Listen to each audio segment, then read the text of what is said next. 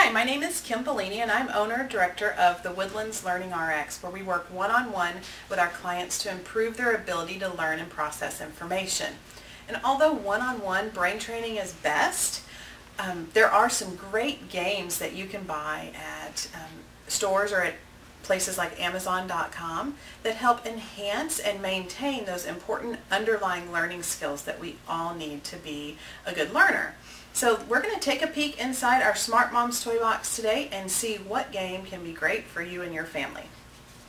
So let's see what we have today. In our box today we have Logic Links. Logic Links help build logic and reasoning or we also refer to it as ability to our planning skills. So with this game, it comes with cards and colored chips. So each box comes with leveled cards and they get each puzzle gets more challenging as you go.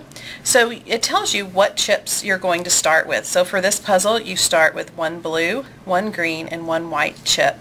And then you read and follow the clues in order to place the chips in the correct order to solve the puzzle.